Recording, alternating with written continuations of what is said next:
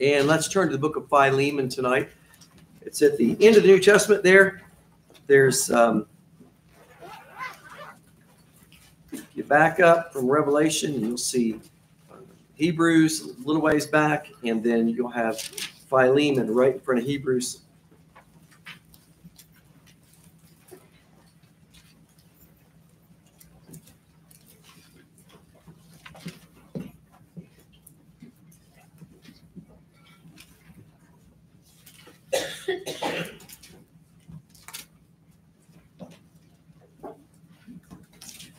We'll start at verse 20 tonight. Philemon chapter 1, verse 20. It says, Yea, brother, let me have joy of thee in the Lord. Refresh my bowels in the Lord. Having confidence in thy obedience, I wrote unto thee, knowing that thou wilt also do more than I say. But withal, prepare me also a lodging, for I trust that through your prayers I shall be given unto you. There salute thee, Epaphras my fellow prisoner in Christ Jesus, Marcus, Aristarchus, Demas, Lucas, my fellow laborers. The grace of our Lord Jesus Christ be with your spirit. Amen. Lord, bless as we look at these verses. Uh, Lord, help us through them. In Jesus' name, amen. Uh, I want to jump in tonight. Uh, we looked at verse 21 um, last week, and we're going to um, hit verse 22 and, and maybe maybe finish out the chapter tonight. Um, you know, Paul has written to Philemon about a runaway slave named Onesimus, and uh, Onesimus had gotten saved through Paul and had become a great help to Paul in prison. And um, when Onesimus got saved, uh, God began to deal with him about returning to his master.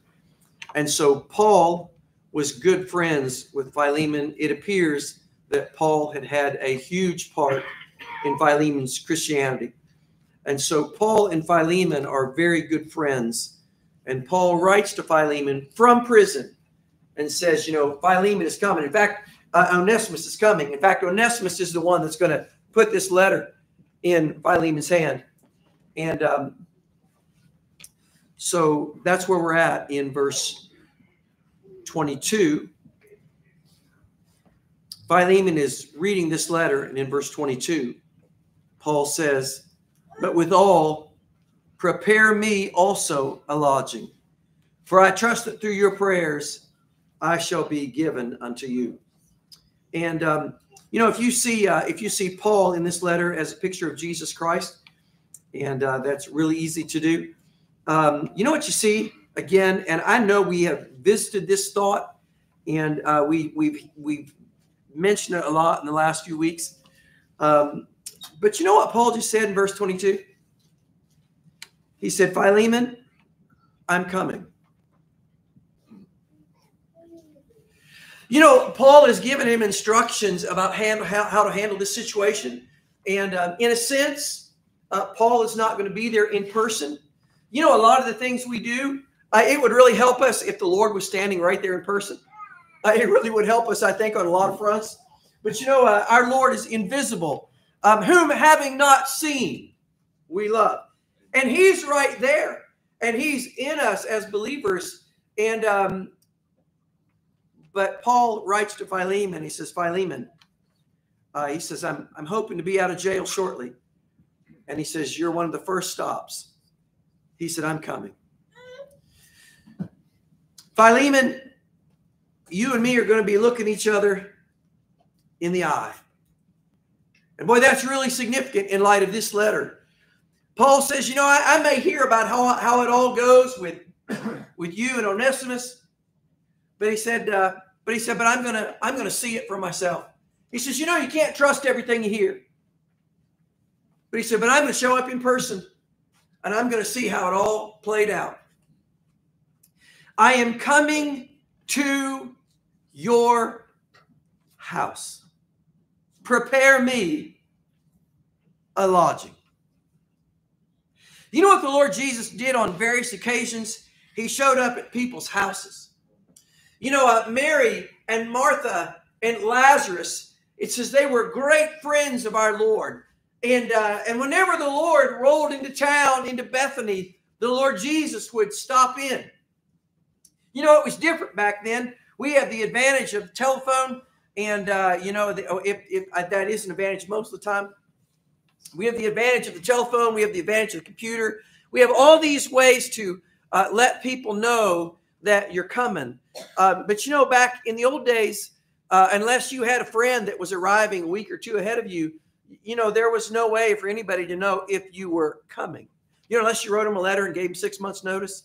Um, my uh, my stepdad was in World War II, and um, during that era, he said uh, when the soldiers came back from being overseas, he said the people loved the soldiers. The people really respected the whole cause that was involved with World War II, and um, he said, uh, you know, the soldiers would come back, and he said we would come back on leave, and he said we we didn't have a car, we didn't have any way to get around.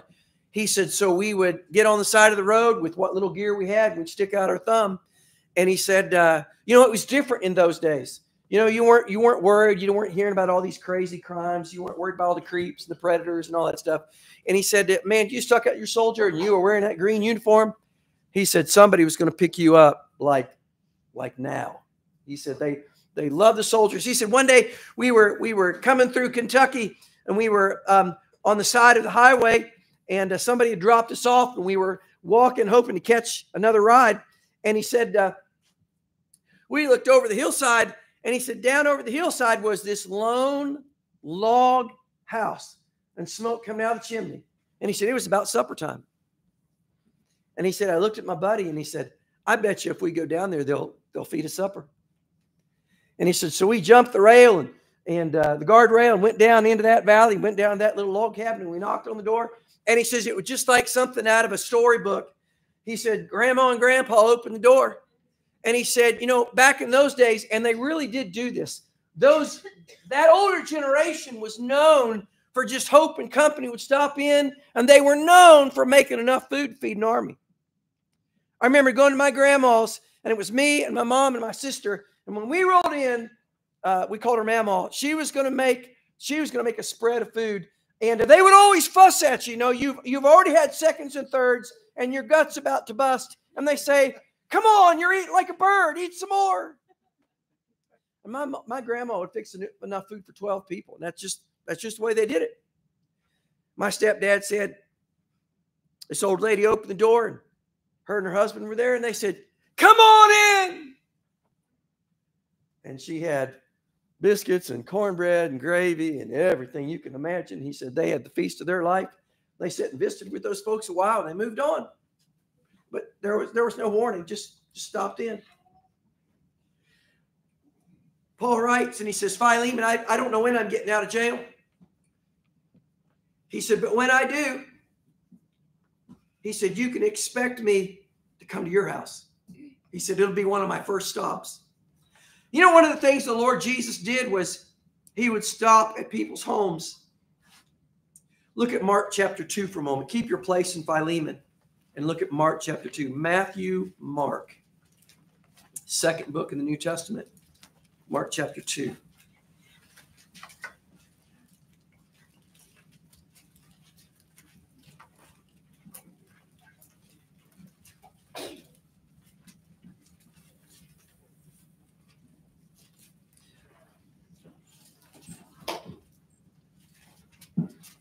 Mark chapter 2, verse 14. And as he passed by, that's talking about the Lord Jesus, and as he passed by, he saw Levi, the son of Alphaeus, sitting at the receipt of custom, and said unto him, Follow me. And he arose and followed him. In the next verse, suddenly there's a, a scene change. Verse 15.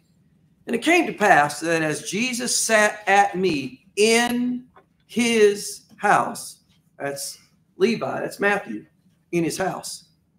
Many publicans and sinners sat also together with Jesus and his disciples, for there were many, and they followed him. You know, um, man, the Lord Jesus calls Matthew and saves him. And, and in a moment of time, his whole world has changed. And, um, you know, one of the next stops that Jesus makes is his house. The Lord saves Zacchaeus. And one of the next stops on the agenda was Zacchaeus's house. Look at Psalm 101. Psalm. Psalm sort of in the middle of your Bible there. Psalm 101.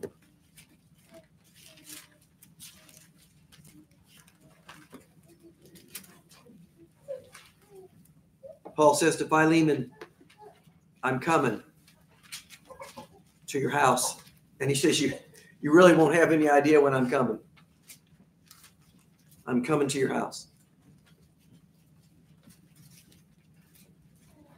Look at Psalm 101 and um, look at verse 1. I will sing of mercy and judgment. Unto thee, O Lord, will I sing. I will behave myself wisely in a perfect way. Oh, when wilt thou come unto me? I will walk within my house with a perfect heart.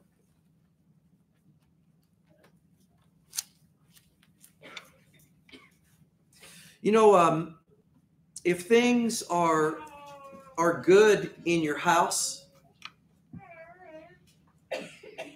they're they're pretty much good just about everywhere else. If your Christianity is is doing okay in your house, it's doing okay everywhere else. You know, uh, we always we always uh, people always put their best foot forward, and rightfully so. When you're out in public, you know.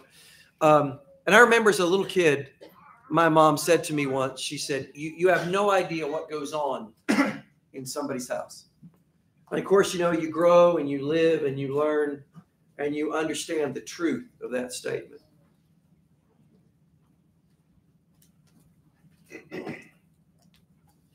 If it's good in your house, it's just just about good everywhere else.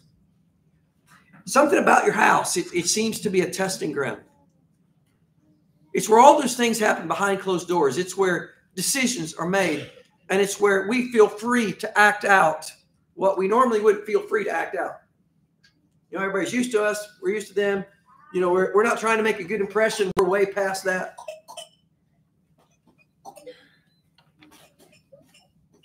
You know, um, in your house, you you may be the only one that's trying to serve the Lord. You might be, um, at least for a time. You know, when we say when we say about you know the Lord coming to your house and things being right in your house, um, it doesn't mean that everything and everybody will be right because a lot of you in this room, you know, you're you're part of a house, most of you, and you know, but but you can't always control everything and everybody in your house. It may be, and I hope this isn't true, but it may be that in your house, the angels weep because they see. They see what nobody else sees. It may be that the angels weep. But if you are right with God in your house, when the Lord comes to your house, He's going to visit with you. He's going to visit with you. Look at John 14. John 14.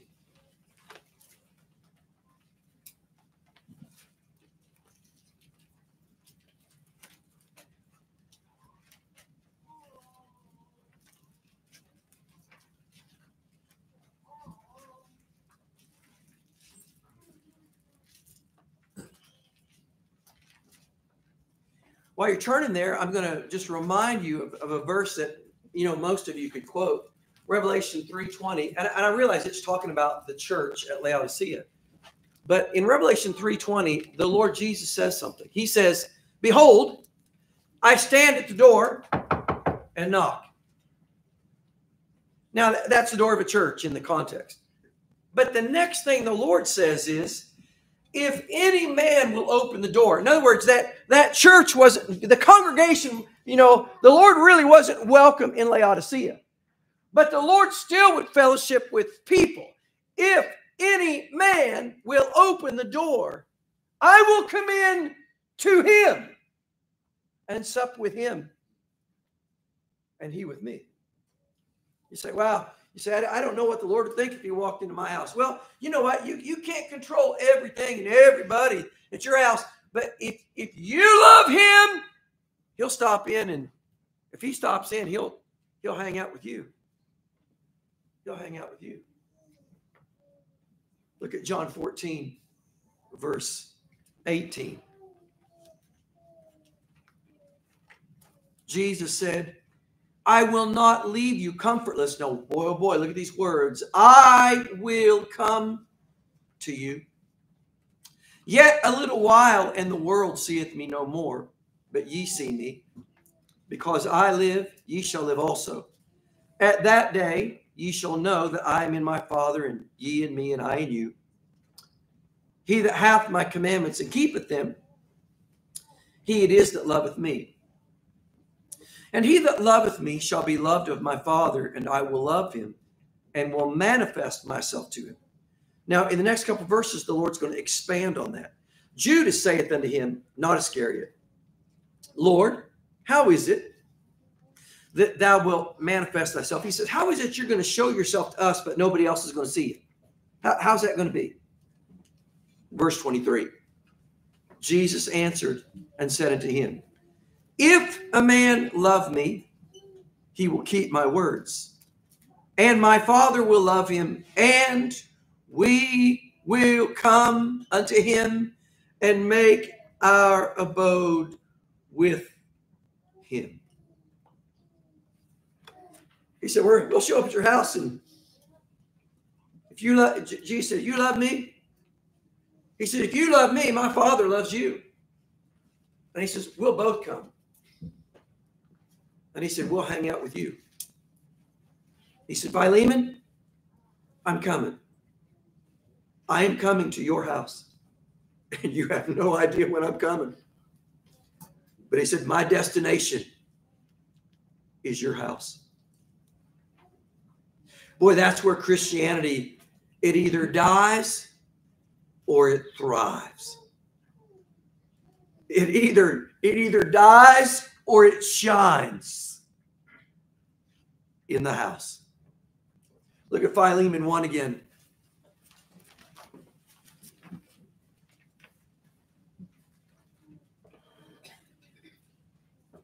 Philemon 1, verse 22. He says, But withal, prepare me also a lodging. No, the second part. For I trust that through your prayers I shall be given unto you. Paul was hoping to come, and Paul was hoping to get out of his bonds. He said, I trust that through your prayers I shall be given unto you. Paul believed, and, and the Holy Ghost is recording this. So the Holy Ghost is encouraging this whole line of thought. Paul believed that Philemon's prayers would tip the scales and would make all the difference and would break his chains and bring him freedom and bring him a time of wonderful fellowship that he hadn't enjoyed in quite a while. He believed Paul's prayers would free, he believed Philemon's prayers would free him and take away a hindrance. You know, boy, there's a big hindrance in Paul's life. I, you know, jail would be a pretty big hindrance. And every time Paul stood up somewhere, he wasn't just in some air conditioned cell somewhere, he was in those primitive prisons. And every time Paul stood up anywhere, he held up his chains. Yeah, that's, that's just a wee bit of a hindrance. He said, um, he said, Philemon, he said, I believe that your prayers will take away my greatest hindrance right now. And he said, I believe your prayers will bring a joyful encounter. He believed God would move if Philemon would pray for his friend. You know, there's something about that in the Bible. Um, you know, the end of Job, and we read it several weeks ago. You know, Job comes through all his trials, and he's still in a very low place. And but the book is closing, and the Lord says to uh, Job's three friends, He says, "You know, I'm I'm really angry with you guys." He said, uh, but he said, "But you know what? I'm going to have Job pray for you." And he says, "Because I, I I'm not going to accept your your all's prayers right now." He said, "You guys are a mess," but he said, "But I will accept Job's prayers." Job prays, and uh, and it says, "And the Lord turned the captivity of Job." when he prayed for his friends. You know, um, uh, here you see Paul's real confidence. Paul had some real faith here. He said, I trust that through your prayers, I shall be given unto you. Um, boy, there's some real confidence in this prayer for a person. You know, uh, it, it's easy to pray when, you know, it's, it's it, and it's right. You know, the Lord says, "Bring all your needs, bring all your burdens, cast all your care on the Lord." And it's it, it really is easy. You know, you you have your problems, you have your financial worries, you have all your dilemmas, you have your potential health problems, you have all these things. You got your kids, you got all these things. But you know, suddenly, when you step out of that world and you begin to pray for some other people, like you pray for yourself and God said, you know, He said, I, I honor that. He said, I move when people do that. And He said, I solve the original person's problems when they begin to seriously pray for somebody else. Paul had real confidence in this prayer. Look at, uh, you're there in Philemon, look at verse 4. Paul said, I thank my God, making mention of thee always in my prayers. Look at Philippians. Go back just a few pages. You'll see First and Second Timothy, and keep going back there. In a few more pages, you'll hit Philippians. Look at Philippians chapter one.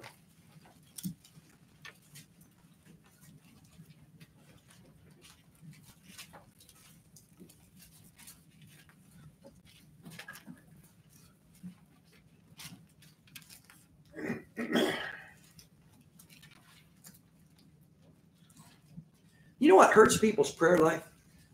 Is, is their lack of confidence. Now, I'm not saying your lack of positivity. You know, you can look yourself in the mirror and going, we can do this. We can do this. We believe, believe, which is a bunch of hooey. You know, go pray Norman Vincent Peale, see if he helps you. Um, but the Lord said in James chapter 1 if any of you lack wisdom, let him ask of God. The Holy Ghost says this.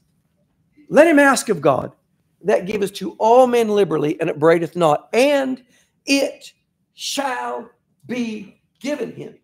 But, he says, let him ask in faith, nothing wavering. For he that wavereth is like a wave of the sea, tossed to and fro. He says, Let not that man think that he shall receive wisdom. No, let not that man think that he shall receive anything. You know, uh, your your prayer life is is the thing that really causes a demonstration of the things that we cannot see. And it's one of the most exciting demonstrations of the world we cannot see. There's so much we don't understand. And, you know, we wrestle with our feelings and all that stuff. But when you pray and you take something to the Lord and it's very specific, and the only one that can do it is the Lord, and you say, Lord, I'm praying for this. I'm praying for this specifically. Lord, I need this. I, I, I really, or, or Lord, I think I need it. I really would like, maybe you don't even need it. You say, Oh Lord, I, I really would like this and I would like it like this. And all of a sudden, it happens. And then a week later, it happens again. And a week later, you know, all of a sudden, you know what happens? It's like you're going, wow. This, and you know, that's way it's supposed to be. It's supposed to be call unto me, and I will answer thee. Jeremiah 33 3 and show thee great and mighty things which thou knowest not. The whole thought of prayer is you call and he answers. It's not something you do, you know, and you never get an answer, and it's just this stale routine, and you you feel better about yourself when you get up. That's not what prayer is about. That's what lost people do when they pray. I remember praying before I got saved because I grew up in a Christian home. And and you know, I wasn't against praying. You know, we we were supposed to do it. And I remember doing it. But you know what I remember? I remember um, never got answers to anything. But I knew it was the right thing to do. So you just do it. Boy, what an exercise in futility. What frustration. What emptiness. What emptiness. Look at Philippians 1, verse 3. Paul says, I thank my God upon every remembrance of you, always in every prayer of mine for you all. He's, he's praying for them, praying for them for your fellowship in the gospel from the first day until now, verse 6. Being confident of this very thing, that he which hath begun a good work in you will perform it until the day of Jesus Christ. Paul prayed for them. And you know, he prayed for them with confidence. He prayed and he absolutely believed that God was going to answer and God was going to work in their lives because he knows that's what God does. That's what God's interested in. People. He wants to help people. He wants to lead people. He wants to take the scales off their eyes. He wants to make this thing real. And Paul said, I, he says, I, he, he loved the Philippians. He said, I, I pray for you. He said, I never stop praying for you. And he said, and it's a joy to pray because, he said, it's, it's, you know, I get a little weary these books, the spiritual disciplines. It's like, I'm not interested in a spiritual discipline. I, I want an answer. You know, go to my wife, honey, let's practice. Give me my supper. I'll be back. Let me try this again. Honey, give me some supper. I'm practicing my, my marital disciplines. Give me, oh, and I'm supposed to work. Okay, let me, we'll try that for a while. That's nonsense. It's a relationship. He said, I'm your father. When ye pray, say, Our Father which is in heaven. Give us this day our daily bread. Deliver us from evil. Lead us not into temptation. He said, You're asking for stuff.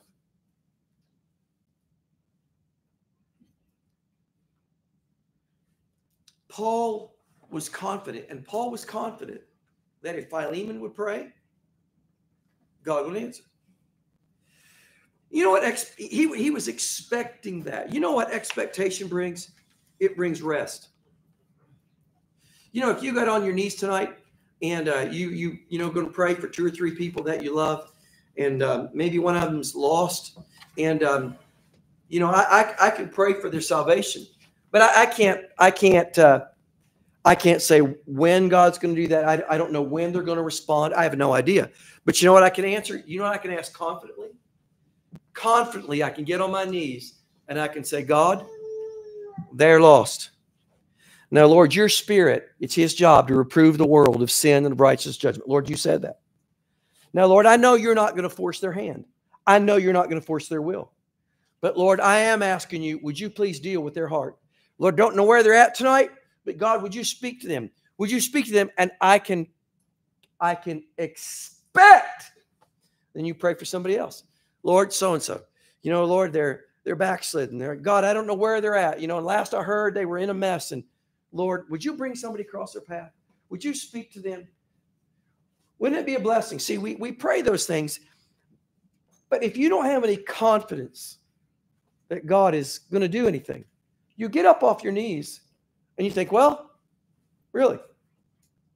Subconsciously, you think, I wonder what good that did. What great faith. And it says in one place, our Lord went into a few towns and he said, and he did not many mighty works there because of their unbelief. They just, what's he going to do? And Lord said, so I met their expectations. I didn't do anything. Expectation brings rest. If you went home tonight and you got on your knees and you prayed for a few of your friends or your, you know, some of your relatives or whatever it is, or maybe something else, and you prayed and you said, Lord, your book says Everyone that asketh receiveth, and he that seeketh findeth, and him that knocketh it shall be opened. And so, Lord, that's me. I'm part of everybody. Lord, I don't know what you're going to do, but you're going to do something. Thank you, Lord. I'm counting on you. You know what that brings? That brings rest in your heart instead of, well, I wonder what good that did. Well, that's really restful, isn't it? That's comforting. Go to bed. Well, I don't think I did a thing, did I? that's painful. You know what? That helps you. It helps you to quit praying. But if you feel like you're talking to God and He's listening, oh, that'll make you want to pray more. Well, if he heard me about that, there's some other things I should talk to him about. And, and faith, that expectation, it brings brightness into your spirit. It really gets rid of a lot of that gloom and doom. Look at verse 23 of Philemon.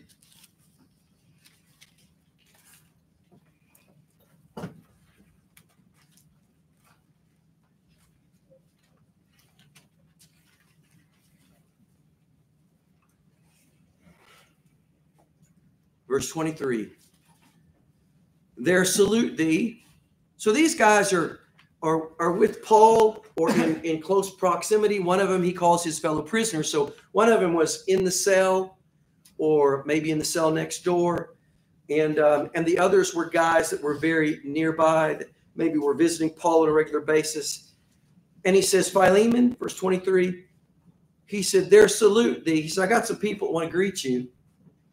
There salute the Epaphras, my fellow prisoner in Christ Jesus. Marcus, Aristarchus, Demas, Lucas, my fellow laborers. In the in the Bible, when somebody was saluted, it it pointed to a few things. It was sometimes it was just a greeting, um, uh, but it also showed it was, a, as an act of respect or honor. You know, in you know, the, the military, you know, they, they salute each other, and that's in keeping with the thought of the word. It's respect and honor. And Paul said, uh, Philemon, he said, you know, in the last little bit here, he said, you know, Onesimus has been around and he's been helping me. And, and he said, uh, you know, some of the guys here that have served the Lord with me, some of them that have risked their neck for Jesus Christ, just like me. He says, we've all got to know Onesimus. He said, now I'm coming to your house. But he said, These other guys, they salute thee. Philemon, their hat is off to you. Philemon, you are known in the distance. You know, even though they didn't have electronics, still word of mouth moves pretty quick. And, uh, you know, Paul would talk about, I, I hear this and I hear that. And so and so has brought me word. Their ears were always to the ground. He said, um, Philemon, the guys that are with me, they respect you, they respect your Christianity, and they're glad you're still with us. And they're hoping you'll do well. In this list of names, there is a, a name that appears. Verse 24. Marcus, Aristarchus, Demas. In verse 24, he calls Demas his fellow laborer. Um, you remember, you'll remember um, in, in 2 Timothy 4, a few years later, Paul writes to Timothy and he says, Demas hath forsaken me, having loved this present world. You know, um, somewhere in the midst of all that, when, when Paul wrote this letter, Demas was still on board. Uh, you know, serving the Lord with, with Paul was not just showing up at church on Sunday. I mean, these guys that were his fellow laborers, they were always in a jam. They were running for their lives half the time. It was pretty crazy. somewhere along the line, Demas figured he'd had enough. And um, but you know the way that works is it usually, usually, that's not a sudden decision. Usually, it's something where people start just, uh, it, it just starts manifesting itself gradually. I remember years ago, my wife talking about uh, a friend of hers that she grew up with, and they went to the same church, and and um, it was it was good family, good moral family, and um, they were farmers. And she said, uh, she said we all were at church Sunday morning, Sunday night, Wednesday night, and she said uh, all of a sudden, you know, um, this the, this this family they you know it got busy, it got harvest time, and they they got to where they weren't they weren't coming for a while. They weren't coming on Wednesday nights at all. And um, then the next thing you know, they started missing the odd Sunday night. And then after a while, they weren't coming Sunday nights anymore. And, and then it was just Sunday morning. And I watched that happen here a, a few months back. And some of you will probably guess what I'm talking about. I watched this, this, uh, this family that that we all loved, and and I, um, I remember noticing he started missing. And uh, I, I, I thought he had gotten rattled over something that had been said. And all of a sudden, he, he, he before that, he never missed. And then he started missing. And you know what people miss? You know, sometimes all they're sick or sometimes they're out of town. And you always you always make allowance for all that. But when it starts to become this real regular occurrence, and you're going, they're on their way out. In Proverbs 23, it says, Eat not thou the bread of him that hath an evil eye. Eat and drink, saith he to thee, but his heart is not with thee. And what you see in this verse is you see a, a sifting that began to take place. And man, we we saw that. Many of you saw it during COVID, and and um, and you see Demas gets sifted out. And what a tragedy. In the eternal record, I mean, it'd be bad enough just to, if God hadn't written it down, but God wrote it down for time and eternity. Demas goes off the page of Scripture as the guy that chucked it all for the bright lights. Demas hath forsaken me. Why? Did Paul hurt him? No. Did Paul rob him? No. Did Paul rattle his chain? No. He just he just thought, man, I don't know, this is a pretty rough life. I I think I, I should enjoy life a little bit. The next thing you know, he was out. Demas hath forsaken me. Look at First John chapter 2. Go to your right. You're there in Philemon. If you go to the right, you'll see Hebrews and James and First, Second Peter there. And um, First John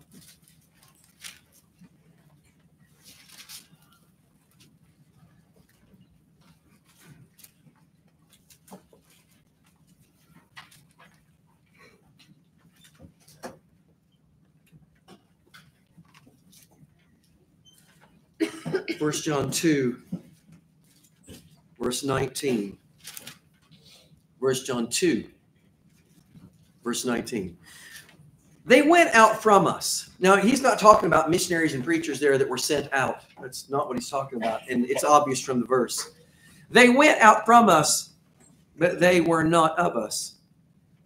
For if they had been of us, if they'd been on the same page, if they were moving the same direction, they would no doubt have continued with us. But they went out, and here's the reason that they might be made manifest that they were not all of us. God said there was a there was a purpose. They they pulled their own move there. But God said there was a spiritual lesson that it was arising out of us uh, out of it. And he said God was making something manifest that they weren't moving the same direction. They uh, they weren't with us. Look at 1 Corinthians 11. 1 Corinthians 11.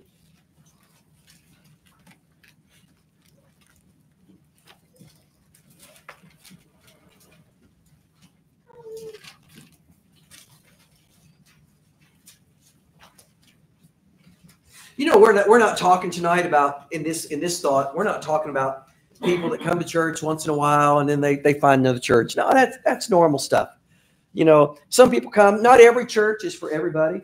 Some people like one church more than another and they visit for a little while and they you know that's not what he's talking about here. Demas was not a visitor.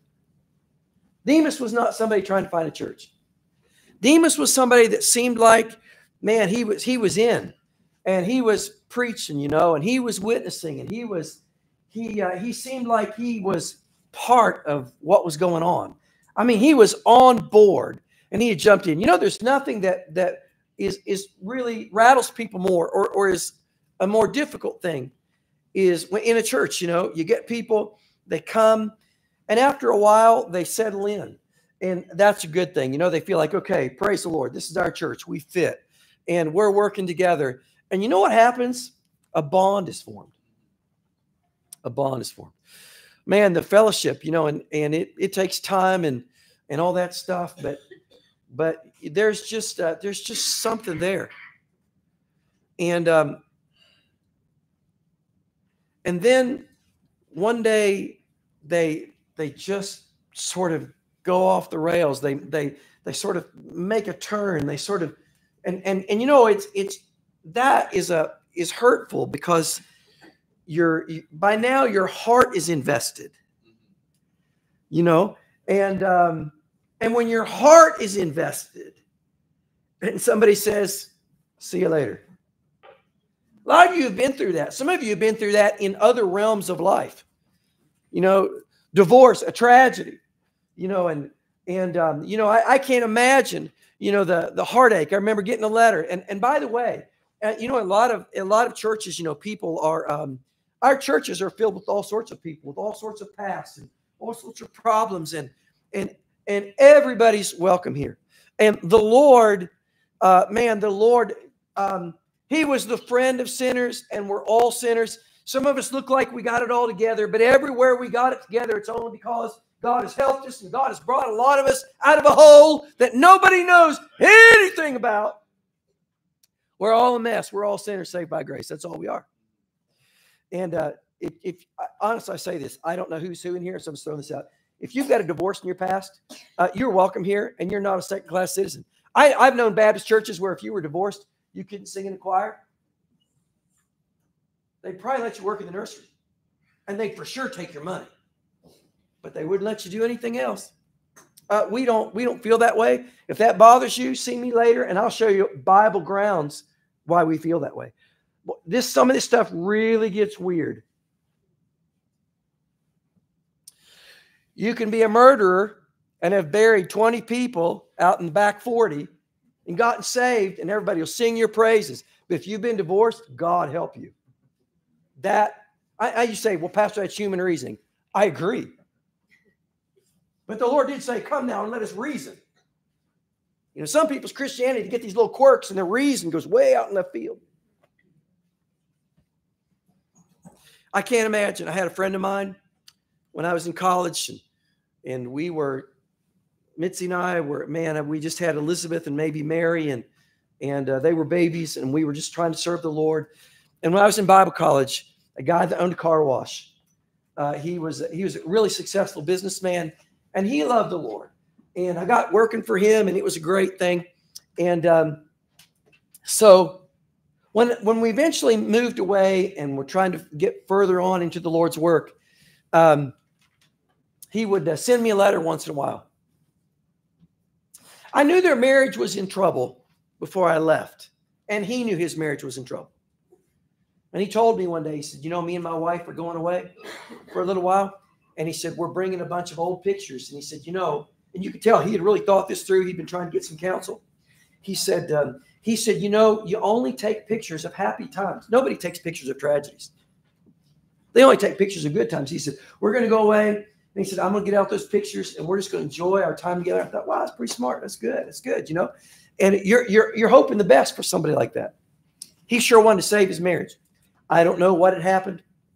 I don't think he stepped out or anything. I just think it was something else.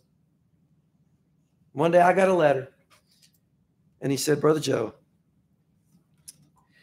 he said, We are divorced now. And he said, A line I will never forget as long as I live. He said, Much pain is already past. Uh, it just, just, those words were pregnant with sadness. You know, um, I don't know. I don't know where you're at. I don't know. Um, you know what's going on in your world, but I can't imagine. You know what God has joined together, and and hear me. I understand, man. I understand. There's terrible things that happen. You know, this guy turned out to be a predator, or she ran off with a girlfriend, or whatever. I, I get that. You know, I'm not. I'm not. But I'm just saying what God hath joined together for this cause shall a man leave his father and mother, and they shall be one flesh. Can you? They shall be one flesh. So what does that mean when it comes apart? It's agony.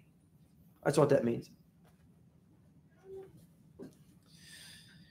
When you've invested in someone, and many of you, you know all about that, not just divorce, but in in a church setting, okay? you've invested, man. You've you've you've made that bond, and then they go, "Don't need you anymore. See you later." That's hard. And you often see that in a church. There's every once in a while there is this a sifting that takes place. Look at 1 Corinthians 11, verse 18. We've seen it this past year on a few counts. And many of you will know exactly what I'm referring to. 1 Corinthians 11, verse 18. For first of all, when you come together in the church, I hear that there be divisions among you, and I partly believe it. For, now watch, there must be also heresies among you. What weird wording the Lord says it must occur some wacko slips in and he starts sowing crazy doctrine, there must be also heresies among you, that they which are approved may be made manifest among you. He says God uses that and God sifts things out. And Demas got sifted out, but others were proved faithful. Others were proved faithful. Look at Philemon again.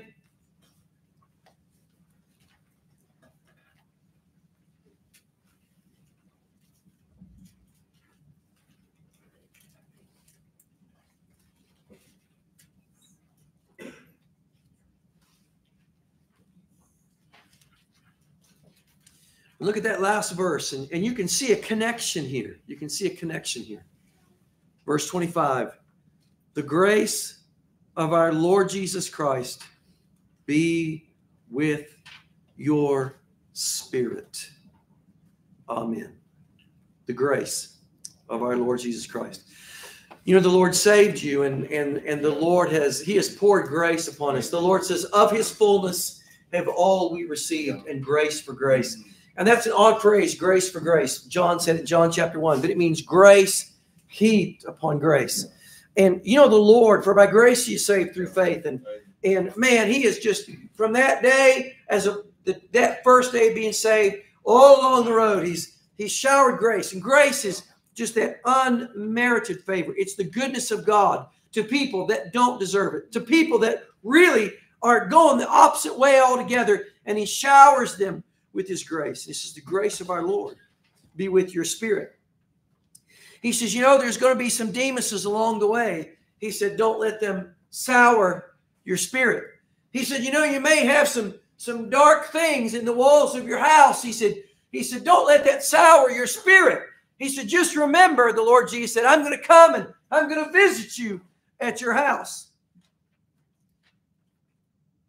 You know, there'll be some things that will come your way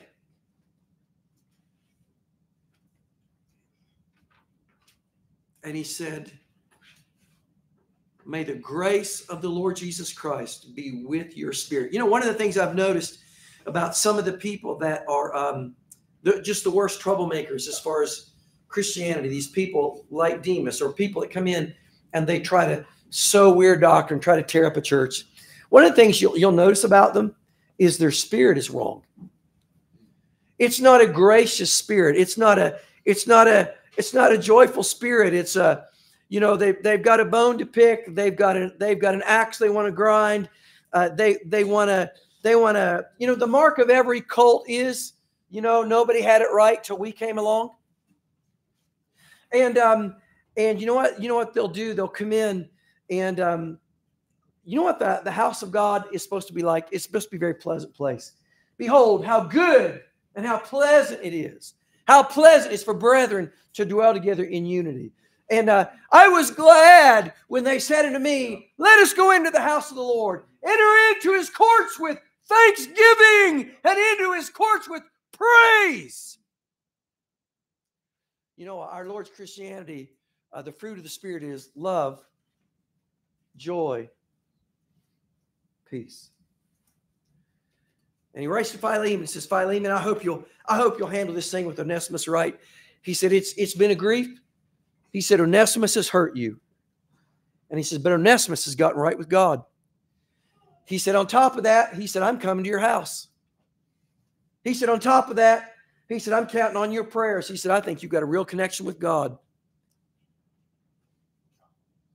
And he closes it all out. And he says, The grace of our Lord Jesus Christ be with your spirit. Your spirit. You know, your spirit, that's that inner man. You know, uh, I, I think if there was a prayer that we could pray for the new year, you know, I don't know what's ahead for you and me. I hope this is the best year. I hope it's bright. I hope it's prosperous. I hope it's healthy. I hope your your relationships are wonderful. I hope you get prayers answered, and it'd be a good year. But it'd be a good year too if the grace of our Lord Jesus Christ was with our spirit. That'd be a good thing to pray. So we're going to close the message right there. We sort of covered a lot of ground tonight. I don't know where you're at. I don't know what you're thinking. You know, you're home, or maybe maybe you got somebody that's bailed on you, and you got somebody. I, I don't know where you're at tonight, but I know this: if you call, He'll answer. And God says, if you'll call, confidently, mm-hmm. I will answer. And he says, if you'll pray for other people like you pray for yourself, he said, I'll answer. Mm-hmm. He said, I care about those people in your life more than you care for them. Wow, what a thought. Mm-hmm. You know, it's like we're trying to coax God to do something. He's like, no, he says, I, I, I, I got that covered. I want to do it more than you want to ask. Good prayer for the new year. Lord, may your grace no matter what comes. May your grace be with my spirit. Let's pray.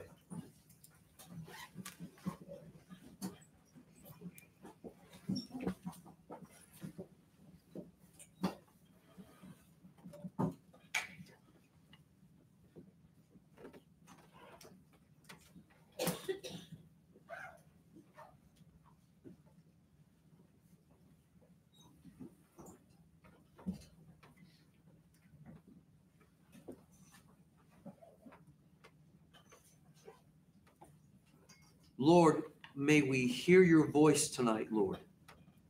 May you touch that thing, Lord, where you want to help us the most. And Lord, may we throw open the door to you and say, Lord, yes. Work in my heart and my life. In Jesus' name. With your heads bowed, if God has spoken to you, why don't you talk to him?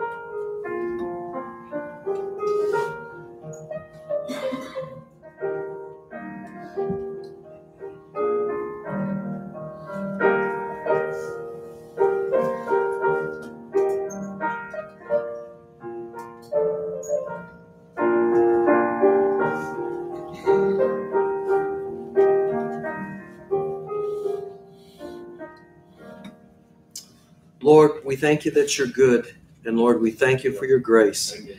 And uh, Lord, we sure appreciate it. Lord, we just pray that you keep pouring it on us, Lord, and help us to keep asking for it.